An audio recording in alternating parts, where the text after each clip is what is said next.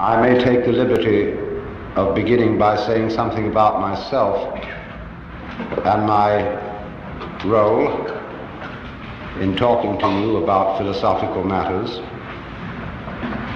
because I wanted to be understood perfectly clearly that I am not a guru. In other words, I talk about what we call these things, and that comprises a multitude of interests concerning Oriental philosophy, psychotherapy, religion, mysticism, etc. I talk about these things because I'm interested in them and because I enjoy talking about them. And every sensible person makes his living by doing what he enjoys doing. And that explains me. Now, in saying, therefore, that I am not a guru, that means also that I'm not trying to help you or improve you. I accept you as you are. I am not out, therefore, to save the world.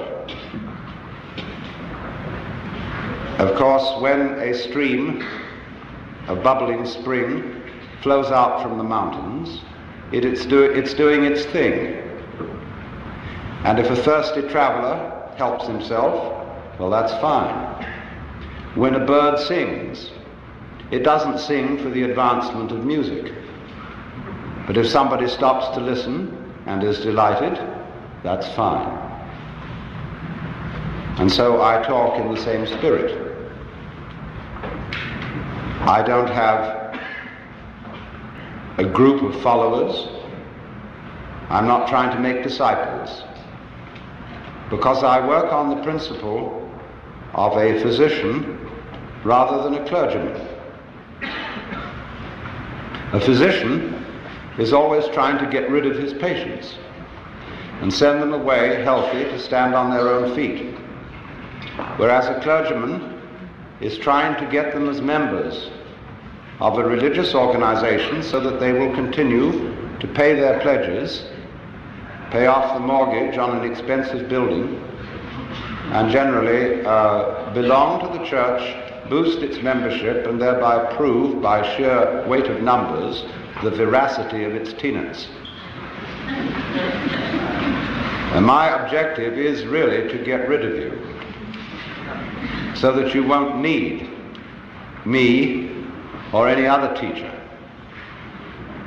I'm afraid some of my colleagues would not approve of that attitude because it is widely believed and said that in order to advance in the spiritual life, whatever that is, it is essential that you have a guru and that you accord to that guru perfect obedience. And so I'm often asked the question, is it really necessary to have a guru? I can answer that only by saying, yes, it is necessary if you think so. In the same spirit as it is said that anybody who goes to a psychiatrist ought to have his head examined. Of course, there is more in that saying than meets the ear. Because if you really are sincerely concerned with yourself and are in such confusion that you feel you have to go to a psychiatrist to talk over your state, then of course you need to go.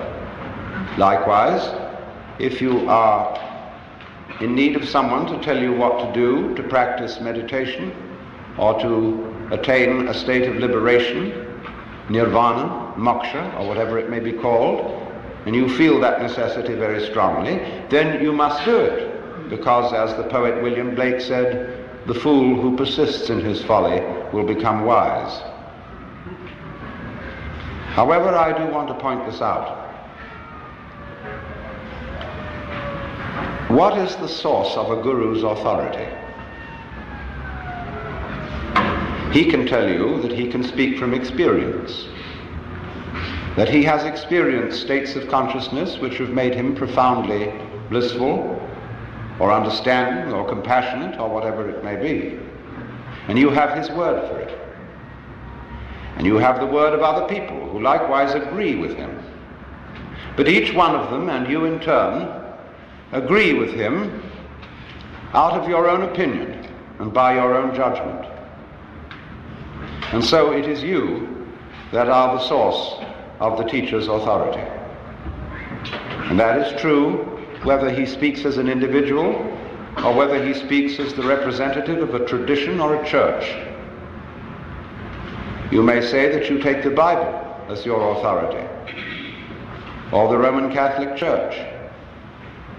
And the Roman Catholic following very often says that the individual mystical experience is not to be trusted because of its liability to be interpreted in a whimsical and purely personal way, and that it has to be guarded against excesses by the substantial and objective traditions of the Church.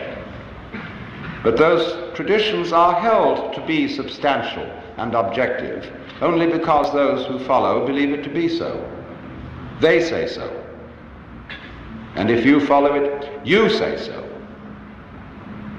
So the question comes back to you. Why do you believe? Why do you form this opinion? Upon what basis does all this rest? Well, of course, almost everybody is looking for help. Unless, when I was younger, so much younger than today, I never needed anybody's help in any way. but there is this feeling of a certain helplessness, of being alone and somewhat confused in an unpredictable, wayward, external world of happenings. And this world of happenings includes an enormous amount of suffering, tragedy, and we wonder why we're here, how we got here, and in short, what to do about the capital P problem of capital L life, to which should be added death, because it seems to be certain that we're all going to die, and that death may be a painful process, that those we love are going to die, and so what about it? Is there any way in which we can become masters of the situation?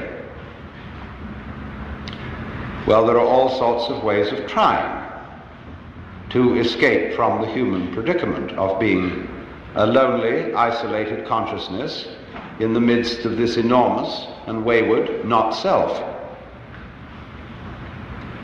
We can, of course, try to beat the game on a material basis by becoming very wealthy or very powerful. We may resort to all kinds of technology to get rid of our sufferings, hunger, pain, sickness, and so forth. But it will be noticed that as we succeed in these enterprises, we're not satisfied. In other words, if you feel at this moment that an increase in income would solve your problems, and you got an increase in income, this would give you a pleasant feeling for a few weeks. But then, as you well know, if that's ever happened to you, the feeling wears off. And you may stop worrying about paying your debts and start worrying about whether you will get sick. There is always something to worry about. And if you are very rich indeed, you've still got the anxiety about sickness and death, and also anxieties about revolution and about whether the Internal Revenue Service will take it all away from you or catch you for cheating on your taxes or put you in prison for no good reason. Now, there is always this worry. And so you realize that the problem of life does not really consist in your external circumstances because you worry whatever they are. The problem consists in rather in what you call your mind. Could you, by some method, control your mind so that you won't worry? And how on earth would you do that? Well, there are those people who tell you that the best answer is to think positive thoughts, to be peaceful, to breathe slowly and hum gently, and get yourself into a peaceful state of mind by repeating affirmations such as all is light, all is God, all is good, or whatever it may be. But unfortunately, uh, it doesn't always work because you have a nagging suspicion in the back of your mind that you're simply hypnotizing yourself and whistling in the dark. what the Germans call a Hintergedanke, which is a thought concealed way, way back behind your intellect, but it has a gnawing persistence. What if?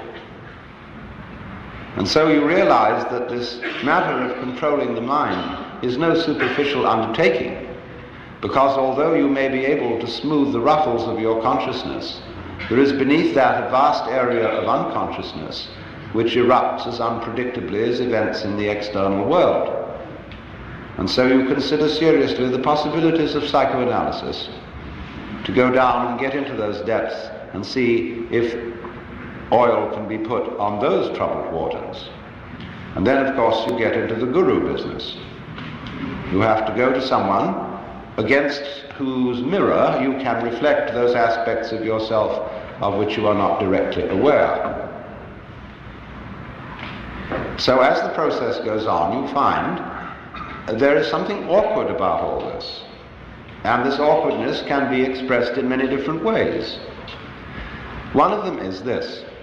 How on earth are you to get at yourself, to do something about yourself? Because it's a project not unlike trying to pierce the point of a pin with the point of the same pin. In other words, if you feel that you could do with some sort of psychological or spiritual improvement, obviously you are the character who's going to have to bring this about. But if you are the one who needs to be improved, how are you going to accomplish the improvement? You're in the predicament of trying to lift yourself up off the floor by pulling at your own bootstraps. And as you all know, that cannot be done. And if you attempt to do so, you're likely to land with a bang on your fanny and be lower down than you were in the first place. So that problem continually arises, and it has arisen historically in all the great religious traditions. We find it in Christianity, in the debate between St. Augustine and Pelagius. And Pelagius said that if God had given us a commandment to love him and to love our neighbors, he would not have done so unless we could obey it. St. Augustine countered and said, yes, but the commandment was not given in order for it to be obeyed. God never expected that it would be obeyed because we were incapable of loving anyone but ourselves. The commandment was therefore given to convince us of our sinfulness, from which we could be rescued only by divine grace, that is to say, by the infusion of our souls with a power beyond them. And that was more or less the doctrine for which the church settled. The puzzle has always been, therefore, how to get grace. Because grace is apparently freely offered to all, but some people seem to get it and some don't. With some the medicine takes, and with others it doesn't. Why? Well, apparently you have the power to resist grace, but if you do, you also have the power not to resist it. We would like, therefore, to know how not to resist it and to be open. And there you see we are back at exactly the same problem with which we began. It's like saying you must relax. Damn you. Let go. Give in. And I know I ought to give in. I know I ought to let go and abandon my will to the divine will. But as St. Paul put it so, will, so well, to will is present with me. But how to do that which is good, I find not. For the good that I would, I do not, and the evil that I would not, that I do. In other words, we all come down to a basis in ourselves, which we will call, so first of all, since we are in a Jewish temple, the Yetzer Hara, or the wayward spirit which God is supposed to have put into the soul of Adam, or in my translation, our element of irreducible rascality, where we are all basically scamps. And if you haven't found that, you're very unconscious. I know all sorts of people who are full of outward love, but of course it always turns up that they need money. And when it comes to money, the virtue flies out of the window. So we do have that element in ourselves. We know it very well. And the question is, therefore, once again, how can it be transformed? But if the transformer is the one who is afflicted, who transforms the transformer? It's the old problem of who guards the guards, who polices the policeman, who governs the government. And it seems perfectly insoluble for that reason alone that it is a vicious circle. There's a great deal of talk about two selves the lower self or ego, the higher self called the spirit or the Atman, and the duty of the Atman seems to be to transform the wretched little ego. Well, sometimes it does, but a lot of times it doesn't. So we ask, why doesn't so-and-so's Atman succeed in getting through? Is his ego too strong? If so, who will weaken it? Is his Atman too weak? And if so, why? For surely aren't all Atmans the same? The puzzle remains. So let's take a look at what we're trying to accomplish. We're trying to get better. We are out after that type of experience which we will call the positive, the good, the light, the living and to get away from the negative, the evil, the dark, and the dead. Unfortunately, however, human experience, human consciousness, knows by contrast. We are equipped with a nervous system where the neurons either fire or don't fire. All that we are aware of is made up of an extremely complicated arrangement of yes and no. And by recording on magnetic tape impulses, there are areas where there is a pulse and there are areas where there is not a pulse. And by so doing, we can tape almost any form of human experience. In other words, we can put colored television on a tape so that it is all reduced to a matter of yes and no. And you will understand, of course, that that is the philosophy of the Chinese Book of Changes, the I Ching, which represents all the situations of life in terms of combinations of the yang, or positive principle, and the yin, or the negative principle. Interestingly enough, a Latin translation of the I Ching was read by the philosopher Leibniz. And from this he invented binary arithmetic, wherein all numbers can be represented by 0 and 1. And that is the number system used by the digital computer, which lies behind all our electronic ingenuity this great extension of the nervous system, which is based on the same principle. But you see what we are trying to do. We are trying to have yang without yin. We are trying to arrange a life game in which there is winning without losing. Now, how can you arrange such a state of affairs? A game in which everybody wins would end up, as W.S. Gilbert put it, when everybody's somebody, then no one's anybody. If we're all equally happy, it is impossible to know that we're happy because a certain flatness comes over everything. If we lifted up all valleys and lowered all mountains, we should have the sort of thing they're attempting to do with bulldozers in the Hollywood Hills to the destruction of the ecology in ghastly fulfillment of the biblical prophecy that every mountain, every valley should be exalted and every mountain laid low and the rough places made plain. And I'm sorry to say it was Isaiah to whom this temple is dedicated who made that remark. But the same Isaiah also said something that uh, at least Christians do not often quote, which is this following sentence I am the Lord, and there is none else.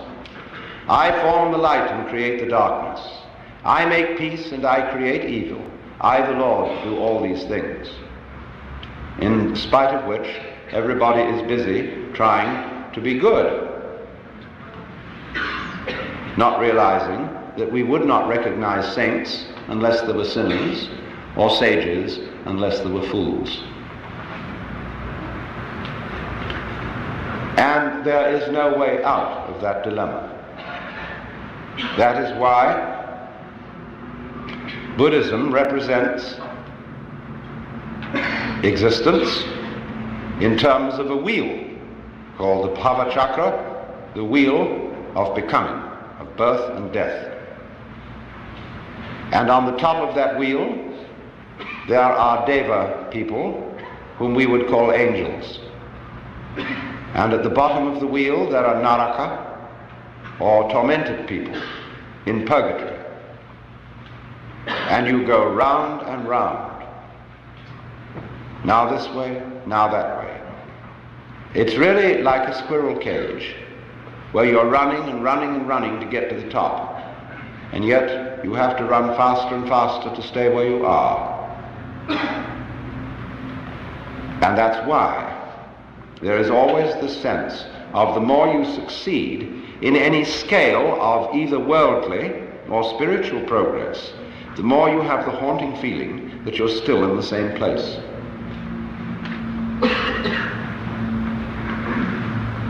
So you think now there must be some way out of that. Perhaps there's something ambitious and proud and wrong in aspiring to be enlightened or compassionate. Perhaps there's a, a great dose of spiritual pride in that, that I, by my efforts, could make myself into a Buddha or a saint. And therefore, Perhaps the thing to do is to try to eliminate all desire. Not only the desire for worldly success, but likewise the desire for spiritual success. For the Buddha proposed that desire was the root of suffering, and therefore suggested to his hearers that if they eliminated desire or clinging, they might cease from suffering. But you must realize that the so-called teachings of the Buddha are not doctrines in the sense that the Jews and the Christians and the Muslims have doctrines. They are proposals. They are the opening steps in a dialogue. And if you go away and try not to desire in any way, you will very quickly discover that you are desiring not to desire. and so we very rapidly come to a situation where you discover that with regard to your own transformation, everything you try to do about it doesn't work. It may have some sort of temporary success to make you feel better. But again and again you come back to the same old gnawing problem. And that is why people interested in spiritual things tend to move from one sect to another, from one teacher to another, always hoping that they will meet one who has the answer. Of course, then there are many teachers who say, indeed, there is nothing you can do. And yet, therefore, you have to practice non-doing, as the Taoists call it, wu wei, non-striving. But then you find in turn that it's extraordinarily difficult not to strive. It's like trying not to think of a green elephant. And immediately you think of it. And so you come to the dismal conclusion that you can neither achieve what you want to achieve, that is to say, liberation from the alternation of the opposites by striving, nor can you achieve it by not striving. And thereby you have learned that um, you cannot concentrate on purpose. It's like trying to be unself-conscious on purpose, or to be genuine on purpose, or to love on purpose. When you say, I ought to love, well, that puts you in a double bind. When we say of a person, well, he's trained himself to be deliberately unself-conscious, or he has very disciplined spontaneity.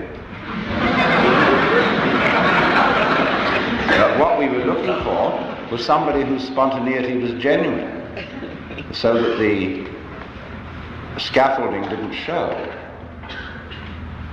And we believe that there are such people, uh, like children, but they don't know how interesting they are. And when they find out, they become brats.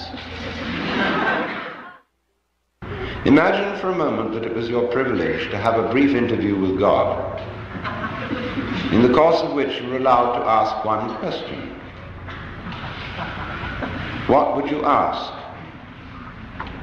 Now, you would have to think this over very carefully because this golden opportunity would come to you only once. And you would have to be most careful that you didn't ask a silly question. well, you might try God out with a Zen Buddhist koan,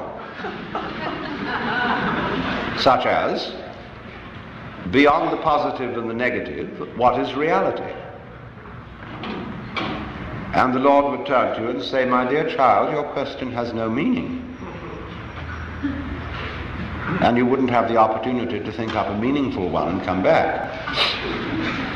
So perhaps you should have asked, What question should I ask? and the Lord would say to you, Why do you want a question?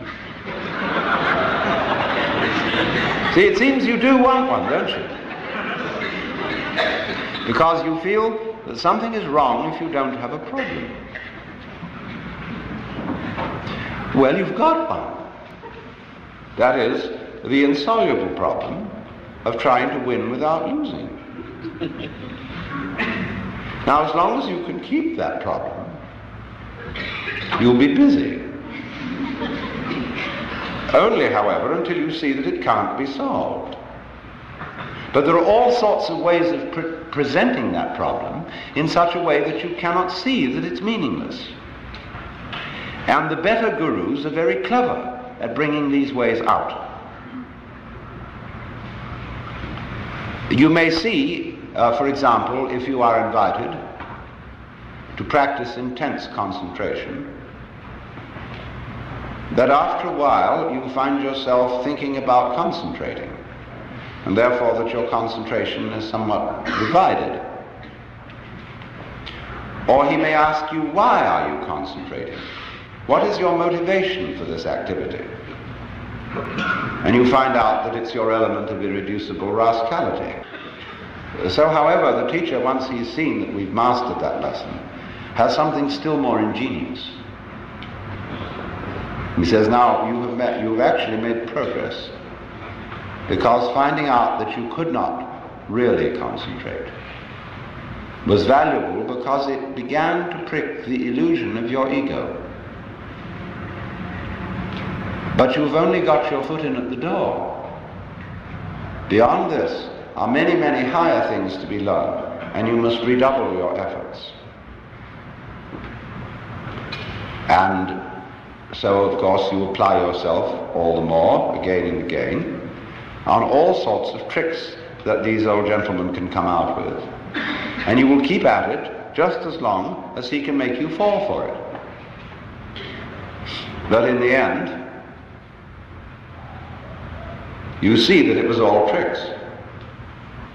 As the great Zen master Rinzai said, well, after all, there was nothing much in Obaku's Buddhism. And he went on to explain to his students that the art of Zen, or teaching Zen, is like deceiving a child with an empty fist. You know how you can intrigue a child by pretending you've got something very precious in your fist. And you can play a game for an hour, provoking the child to ever greater enthusiasm to find out what you've got. And in the end, the revelation is that there was nothing there. So many people say in the course of their Zen training, I realized there was nothing to realize. It was all there from the beginning. Because you see, standing opposite to the realization that you can't do anything about it, and equivalently that you can't do nothing about it, comes, of course, the awakening that the reason for that is there is no you separate from you. In other words, when you try to control your thoughts or control your feelings, there is no difference between the thoughts and the controller.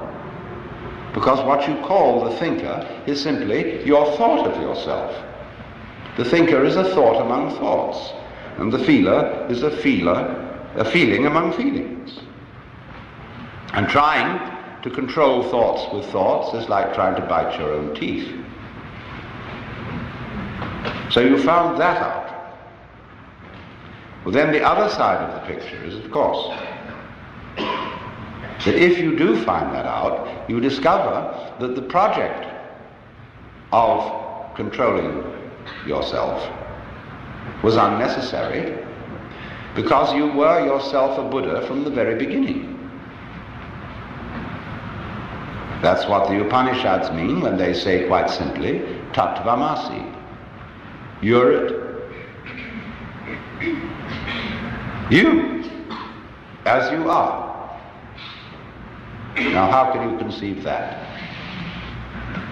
Supposing you let your imagination go and really think through what you would like to happen. Imagine the most gorgeous state of bliss that you can conceive. Where there are no worries, no anxiety, no haunting future with unpleasant consequences. You're in control of the whole works and you're sitting on your lotus, perfectly content. And I ask you seriously, is that really what you want? Are You quite sure that's what you want? Imagine now, let's get this situation straight. You've got everything you want. You're in the highest possible spiritual state that you can conceive. And yet, I haven't really surrendered myself. Because I know it all. I, something I don't know. So please the surprise. You know what would happen? You would find yourself sitting here in this building tonight feeling exactly the way you feel.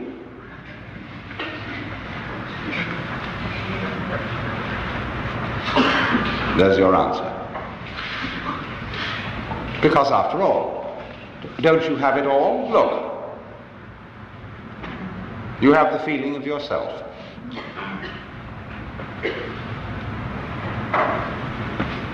But the feeling of self depends on there being at the same time a contrast, the feeling of other. The self has a certain sensation of being in control of life to some extent through voluntary action. The will seems to have a certain freedom. And yet, on the other hand, there are limits to that. And it seems in the end, life sweeps us away and we are overwhelmed by the involuntary. And yet the voluntary keeps popping up. New voluntaries come into the world with every baby. So you see, you couldn't have the experience you call being a voluntarily acting self without the contrast of the involuntary happening. Now, do you want to be without the involuntary happening? You want to get rid of that? All right. If you get rid of it, you won't have the experience of the voluntary self. Or would you like to turn it the other way around? Would you like to have the experience of no voluntary self? And on the other hand, everything just happens. Well, then you say, well, I'm not sure about that. Because then I would feel at first that I was floating. See, that I had no further responsibilities. that I was just walking on air. And we do get that feeling sometimes. If you take the ideas of determinism and fatalism to their final conclusion, you do have that sense of freedom from all responsibility, freedom from worry and care. And you float along for a while, but it wears off. You don't somehow seem to be able to follow out that philosophy consistently, especially if you have children. And somehow a society begins to push on you to be responsible, as it pushes on children to be responsible. And so this nagging duality keeps coming back. That I cannot realize the nice irresponsible condition of involuntary behavior unless I have the contrast of the possibility of the voluntary and vice versa. Now what does that mean? Obviously, it means that these two aspects or sides of our experience, which we can call the voluntary and the involuntary, the knower and the known, the subject and the object, the self and the other, although appearing to be two, are indeed one. Because you can't have one without the other. And when that state of affairs arises, you know at once that there's a conspiracy. That two things which look as different as different can be are for that very reason the same.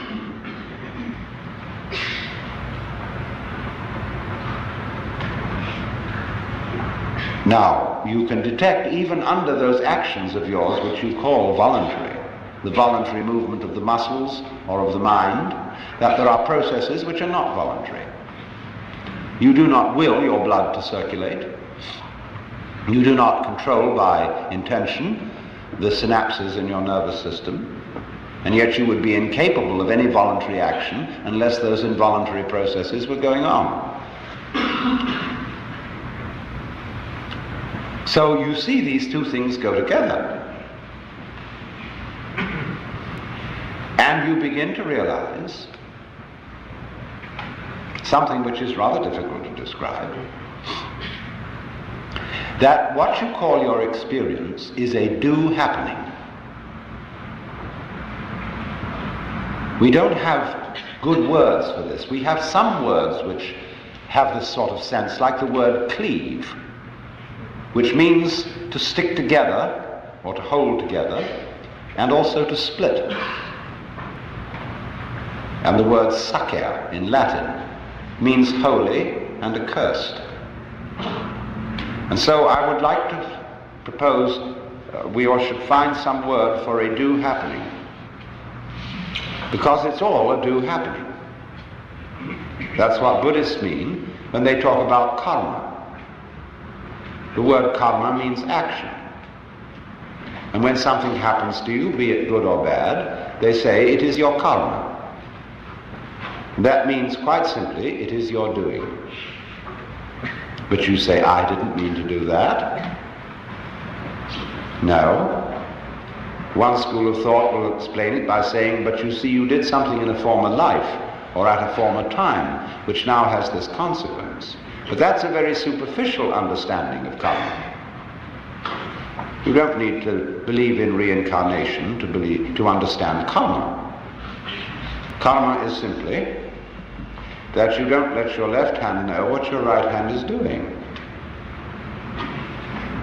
That with one aspect you are doing what you call the environment, and with the other aspect you are doing what you call the organism, the me, this uh, living body. But as you cannot conceive possibly the existence of a living body with no environment, that is the clue that the two are basically one. Like the two poles of a magnet, north is quite different from south, and yet it's all one magnet. So in precisely the same way, you are both what you do and what happens to you. So that you have a little game in which you play that what happens to you, that you're not responsible for. That's not you, see? You're only responsible for this side of it. And then you can compete with the other side. What it's like is this. Get two knitting pins, one in each hand, and have a fencing match with yourself.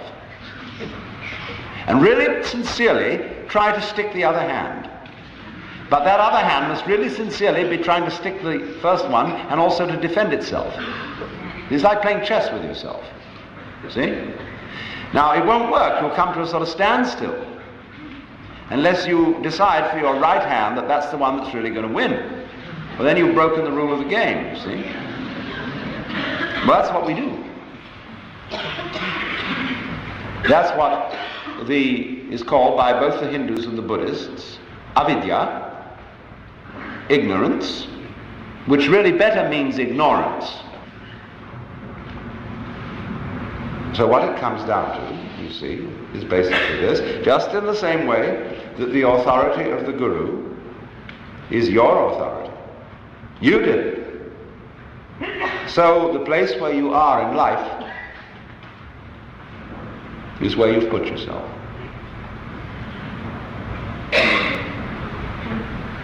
And just as on the surface of the sphere, every point may be regarded as the center of the surface. So every place may be regarded as the true place and everyone's in his true place.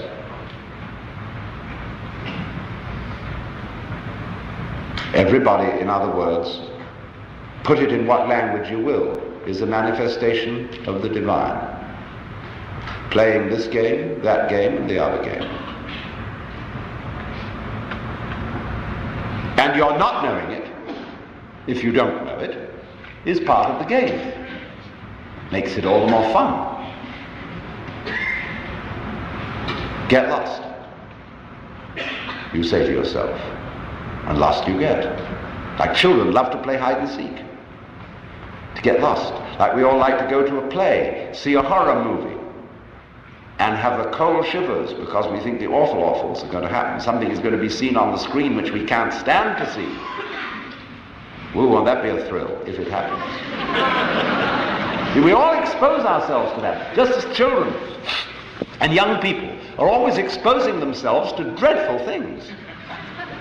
And the parents get absolutely, they get the heebie-jeebies. They think if it isn't getting drunk or driving hot rods, they take drugs. And that may ruin their sanity for life. How horrible can it be? And if they don't take drugs, they'll uh, do something else. Always to see how close to the point of danger you can get. And most people who go in for racing cars usually end up in a crash. And they know it. But the life is all the sweeter for being played dangerously. So I would say to those among you who are the most deadheads, in the sense of unspiritual and square, if there are any here, are real stuffy people. Congratulations. You see? You're playing a very far out game. See, you're so lost you don't even know where you started. That's taking a gorgeous risk. Why? Because of you, we might even blow up the planet. How close are we going to get to that one? Well, just in the same way as that car racer watches the needle going up, up, up, up, up, up. There are these people feeling more and more and more righteous, determined that good shall prevail, watching that needle go up. It's getting hotter and hotter and hotter. And finally, they go out in a blaze of glory.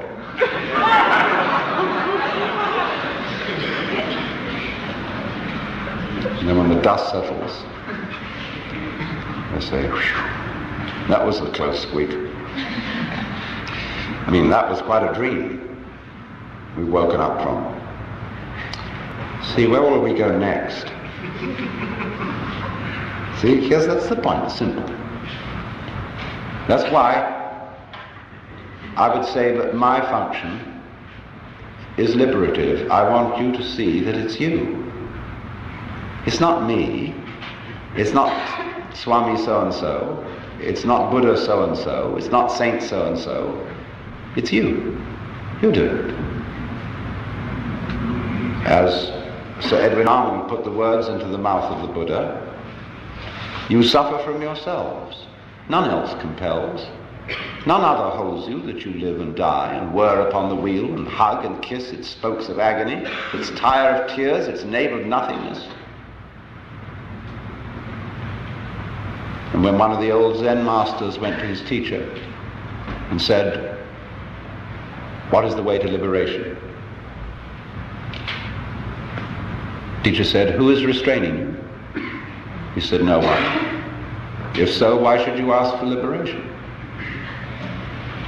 It all bounces back to you. What do you want? Do you know what you want? Can you think it through? Say exactly what you want.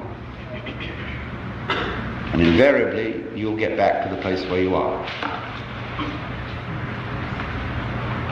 Because what you say you want is always the symptom, the expression of what you are now.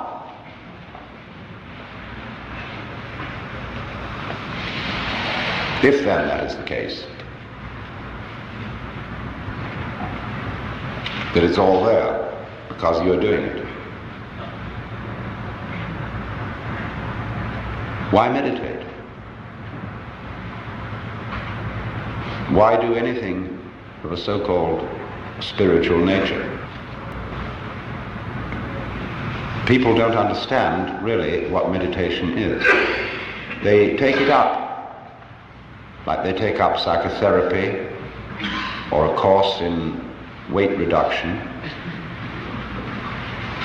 in order to be better. But if you do that, you are not practicing what is called jhana, or yoga or Zen. That's not it at all.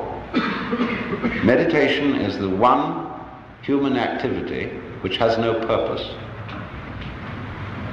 Buddhas, who are supposed to have attained everything, are invariably shown in some sort of meditation posture. Why should they meditate anymore? Because that just happens to be the way that a Buddha sits when he sits. When he sits, he sits. When he walks, he walks. He's not going anywhere. He's just going for a walk. Because he digs it. See, to dig, the word, very word means not merely to appreciate, but to penetrate. To go to the heart of the matter and to penetrate the moment. To get right to the root of the moment is nowhere else than the center of you, where you are. It's where you start this whole thing. So get, I mean, to get with yourself is to get at the moment where you begin all this questioning. Where does the question come from? Where does the desire spring from? Well, that's you. And that you is the point from which the whole universe is created. Flowing back into the past like the wake of a ship. Wake doesn't drive the ship, it's the ship that makes the wake. So here you are, producing it. A meditation is just sitting and watching it happen. And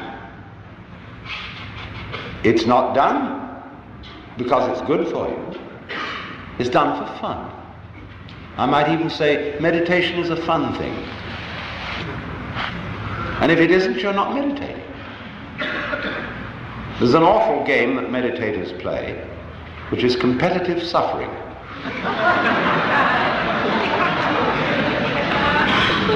no, they go to some place where they sit for hours on end until their legs ache and practically fall off.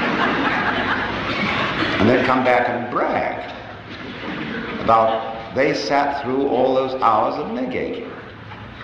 Now, it's very difficult to put down people who are suffering. because, after all, one has a natural sympathy for pain.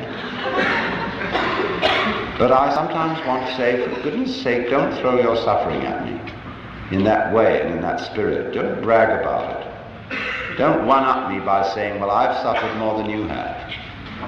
People do things like that. They say, well, I'm more aware of my shortcomings than you are. I'm more tolerant than you are. I'm um, recognize more than you do what a rascal I am. There every kind of way of one-upping somebody else in order to play the game in which I always win. So once we get into that kind of thing with the meditation scene, we get into hierarchies and ranks and degrees and who has attained number seven, who has attained number nine, and the expert guru will always put a stage higher than anyone anybody's thought of, so as to see how far your ambition will run. And so this goes on endlessly, endlessly, endlessly, until you suddenly wake up and begin real meditation by realizing that you were there. That you do really meditate all the time by virtue of existing all the time. Only you miss that eternal now by always looking for something next minute, expecting a result. Now you can't say, let me not expect a result. Because one does anyhow. And so you may just as well sit and enjoy it. And so you realize that the problem of life does not really consist in your external circumstances, because you worry whatever they are. The problem consists in rather in what you call your mind. Could you, by some method, control your mind so that you won't worry? And how on earth would you do that? Well, there are those people who tell you that the best answer is to think positive thoughts, to be peaceful, to breathe slowly and hum gently, and get yourself into a peaceful state of mind by repeating affirmations such as all is light, all is God, all is good, or whatever it may be. But unfortunately, uh, it doesn't always work because you have a nagging suspicion in the back of your mind that you're simply hypnotizing yourself and whistling in the dark. what the Germans call a Hintergedanke, which is a thought concealed way, way back behind your intellect, but it has a gnawing persistence. What if? And so you realize that this matter of controlling the mind is no superficial undertaking, because although you may be able to smooth the ruffles of your consciousness, there is beneath that a vast area of unconsciousness which erupts as unpredictably as events in the external world. And so you consider seriously the possibilities of psychoanalysis to go down and get into those depths and see if oil can be put on those troubled waters. And then, of course, you get into the guru business. You have to go to someone against whose mirror you can reflect those aspects of yourself of which you are not directly aware. So as the process goes on, you find there is something awkward about all this. And this awkwardness can be expressed in many different ways. One of them is this. How on earth are you to get at yourself, to do something about yourself? Because it's a project not unlike trying to pierce the point of a pin with the point of the same pin. In other words, if you feel that you could do with some sort of psychological or spiritual improvement, obviously you are the character who's going to have to bring this about. But if you are the one who needs to be improved, how are you going to accomplish the improvement? You're in the predicament of trying to lift yourself up off the floor by pulling at your own bootstraps. And as you all know, that cannot be done. And if you attempt to do so, you're likely to land with a bang on your fanny and be lower down than you were in the first place. So that problem continually arises, and it has arisen historically in all the great religious traditions. We find it in Christianity, in the debate between St. Augustine and Pelagius. And Pelagius said that if God had given us a commandment to love him and to love our neighbors, he would not have done so unless we could obey it. St. Augustine countered and said, yes, but the commandment was not given in order for it to be obeyed. God never expected that it would be obeyed because we were incapable of loving anyone but ourselves. The commandment was therefore given to convince us of our sinfulness from which we could be rescued only by divine grace, that is to say, by the infusion of our souls with a power beyond them. And that was more or less the doctrine for which the church settled. The puzzle has always been, therefore, how to get grace. Because grace is apparently freely offered to all, but some people seem to get it and some don't. With some the medicine takes and with others it doesn't. Why? Well, apparently you have the power to resist grace, but if you do, you also have the power not to resist it.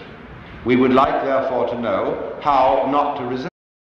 I may take the liberty of beginning by saying something about myself and my role in talking to you about philosophical matters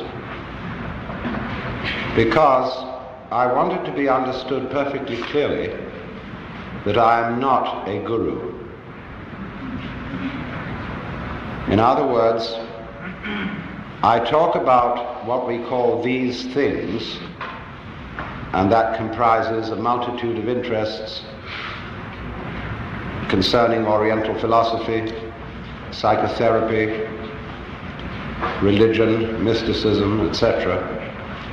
I talk about these things because I'm interested in them and because I enjoy talking about them. And every sensible person makes his living by doing what he enjoys doing. And that explains me. Now, in saying, therefore, that I am not a guru, that means also that I'm not trying to help you or improve you. I accept you as you are. I am not out, therefore, to save the world. Of course, when a stream, a bubbling spring, flows out from the mountains, it, it's, do, it's doing its thing. And if a thirsty traveler helps himself, well, that's fine. When a bird sings, it doesn't sing for the advancement of music.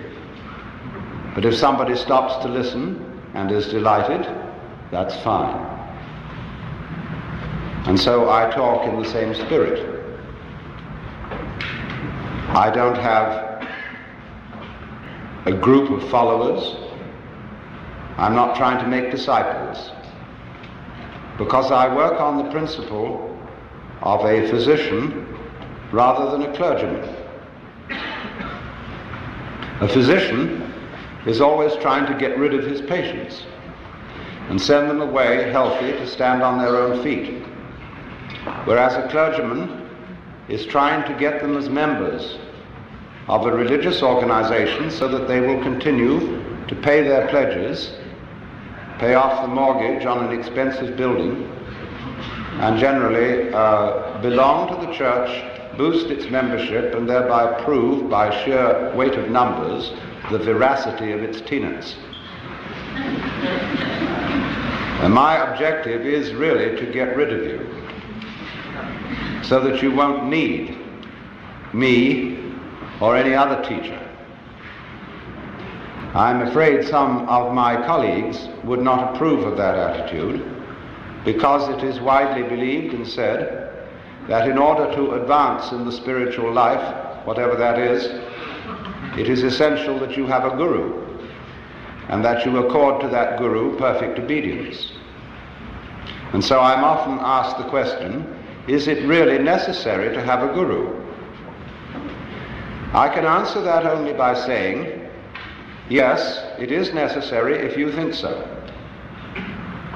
In the same spirit as it is said that anybody who goes to a psychiatrist ought to have his head examined. of course, there is more in that saying than meets the ear. Because if you really are sincerely concerned with yourself and are in such confusion that you feel you have to go to a psychiatrist to talk over your state, then of course you need to go. Likewise, if you are in need of someone to tell you what to do to practice meditation or to attain a state of liberation, nirvana, moksha, or whatever it may be called, and you feel that necessity very strongly, then you must do it. Because as the poet William Blake said, the fool who persists in his folly will become wise. However, I do want to point this out. What is the source of a guru's authority? It and to be open. And there you see we are back at exactly the same problem with which we began. It's like saying you must relax. You. Let go. Give in. And I know I ought to give in. I know I ought to let go and abandon my will to the divine will. But as St. Paul put it so, will, so well, to will is present with me. But how to do that which is good, I find not. For the good that I would, I do not, and the evil that I would not, that I do. In other words, we all come down to a basis in ourselves, which we will call, so first of all, since we are in a Jewish temple, the Yetzer Hara, or the wayward spirit which God is supposed to have put into the soul of Adam, or in my translation, our element of irreducible rascality, where we are all basically scamps. And if you haven't found that, you're very unconscious. I know all sorts of people who are full of outward love, but of course it always turns up that they need money. and when it comes to money, the virtue flies out of the window. So we do have that element in ourselves, we know it very well, and the question is therefore, once again, how can it be transformed? But if the transformer is the one who is afflicted, who transforms the transformer? It's the old problem of who guards the guards, who polices the policeman, who governs the government. And it seems perfectly insoluble for that reason alone that it is a vicious circle. There's a great deal of talk about two selves, the lower self or ego, the higher self called the spirit or the Atman. And the duty of the Atman seems to be to transform the wretched little ego. Well, sometimes it does, but a lot of times it doesn't. So we ask, why doesn't so-and-so's Atman succeed in getting through? Is his ego too strong? If so, who will weaken it? Is his Atman too weak? And if so, why? For surely aren't all Atmans the same? the puzzle remains. So let's take a look at what we're trying to accomplish. We're trying to get better. We are out after that type of experience which we will call the positive, the good, the light, the living, and to get away from the negative, the evil, the dark, and the dead. Unfortunately, however, human experience, human consciousness, knows by contrast. We are equipped with a nervous system where the neurons either fire or don't fire. All that we are aware of is made up of an extremely complicated arrangement of yes and no. And by recording on magnetic tape impulses, there are areas where there is a pulse and there are areas where there is not a pulse. And by so doing, we can tape almost any form of human experience. In other words, we can put colored television on a tape so that it is all reduced to a matter of yes and no. And you will understand, of course, that that is the philosophy of the Chinese Book of Changes, the I Ching, which represents all the situations of life in terms of combinations of the yang, or positive principle, and the yin, or the negative principle.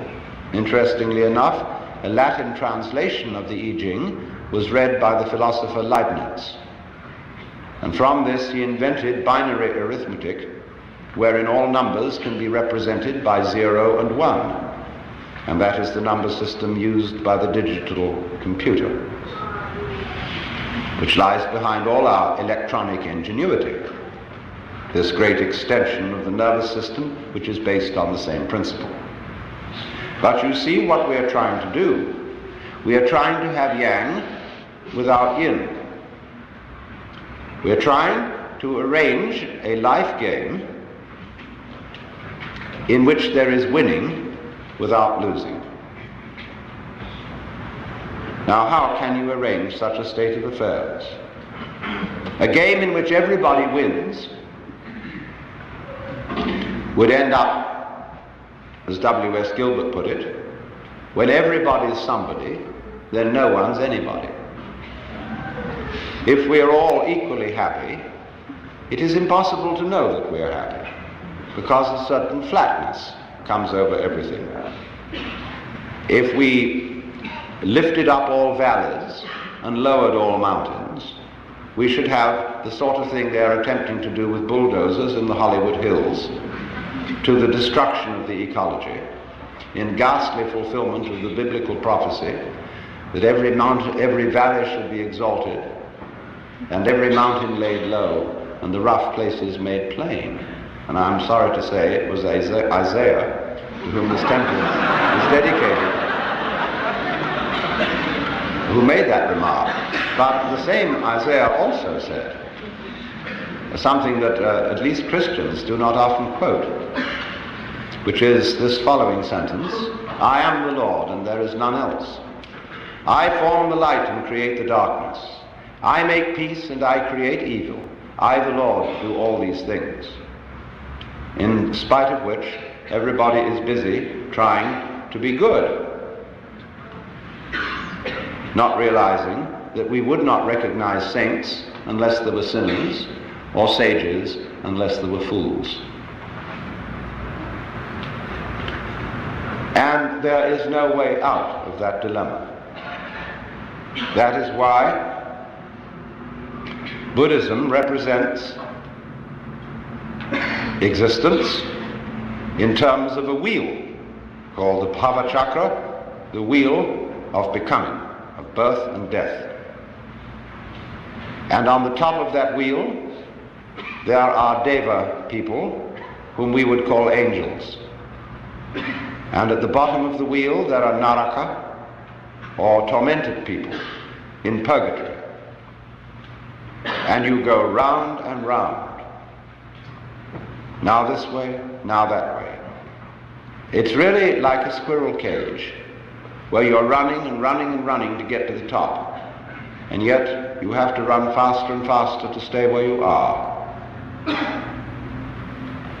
And that's why there is always the sense of the more you succeed in any scale of either worldly or spiritual progress, the more you have the haunting feeling that you're still in the same place.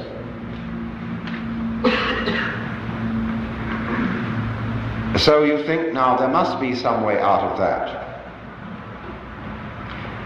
Perhaps there's something ambitious and proud and wrong in aspiring to be enlightened or compassionate. Perhaps there's a, a great dose of spiritual pride in that, that I, by my efforts, could make myself into a Buddha or a saint. And therefore, perhaps the thing to do is to try to eliminate all desire. Not only the desire for worldly success, but likewise the desire for spiritual success. For the Buddha proposed that desire was the root of suffering, and therefore suggested to his hearers that he can tell you that he can speak from experience that he has experienced states of consciousness which have made him profoundly blissful or understanding or compassionate or whatever it may be. And you have his word for it. And you have the word of other people who likewise agree with him. But each one of them, and you in turn, agree with him out of your own opinion and by your own judgment. And so it is you that are the source of the teacher's authority. And that is true whether he speaks as an individual or whether he speaks as the representative of a tradition or a church. You may say that you take the Bible as your authority, or the Roman Catholic Church. And the Roman Catholic following very often says that the individual mystical experience is not to be trusted because of its liability to be interpreted in a whimsical and purely personal way, and that it has to be guarded against excesses by the substantial and objective traditions of the church.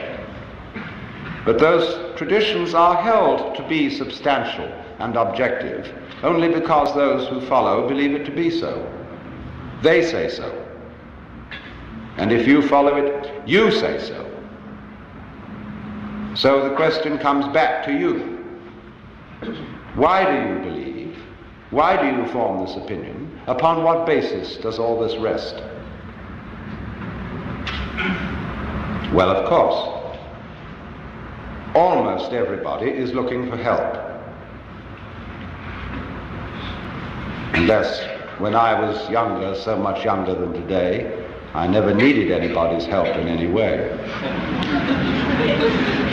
but there is this feeling of a certain helplessness, of being alone and somewhat confused in an unpredictable, wayward, external world of happenings. And this world of happenings includes an enormous amount of suffering, tragedy, and we wonder why we're here, how we got here, and in short, what to do about the capital P problem of capital L life, to which should be added death, because it seems to be certain that we're all going to die, and that death may be a painful process, that those we love are going to die, and so what about it? Is there any way in which we can become masters of the situation? Well, there are all sorts of ways of trying to escape from the human predicament of being a lonely, isolated consciousness in the midst of this enormous and wayward not self. We can, of course, try to beat the game on a material basis by becoming very wealthy or very powerful. We may resort to all kinds of technology to get rid of our sufferings, hunger, pain, sickness, and so forth. But it will be noticed that as we succeed in these enterprises, we're not satisfied. In other words, if you feel at this moment that an increase in income would solve your problems, and you've got an increase in income, this would give you a pleasant feeling for a few weeks. But then, as you well know, if that's ever happened to you, the feeling wears off. And you may stop worrying about paying your debts and start worrying about whether you will get sick. There is always something to worry about. And if you are very rich indeed, you've still got the anxiety about sickness and death, and also anxieties about revolution, and about whether the Internal Revenue Service will take it all away from you, or catch you for cheating on your taxes, or put you in prison for no good reason. Now, there is always this worry.